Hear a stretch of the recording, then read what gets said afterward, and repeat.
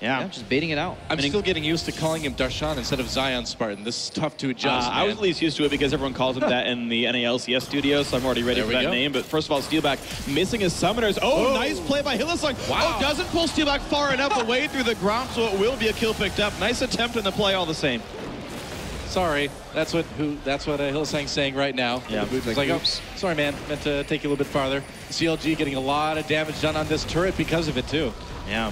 That- That's one of my favorite moves in the early game, just moving two people towards the bot side of the map and, and faking the knife. Even if they know it's coming, they lose so much. If they lose that entire wave and a half and the tower damage, the play is already worth